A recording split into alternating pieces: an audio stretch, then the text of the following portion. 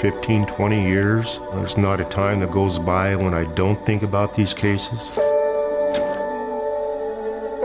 It was the first time that I ever would have said my kids couldn't throw their sleeping bags out in the backyard and spend the night.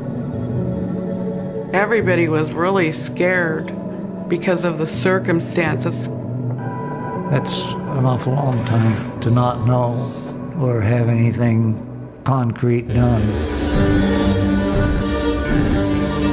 Nobody knew who the killer was or if somebody was going to be next. He was right there. He was right in my face. I will remember that forever.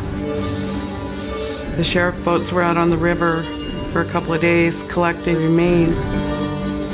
When you take someone's child and they disappear and you have no idea, and you always imagine the worst happening, It doesn't just stay with the immediate family.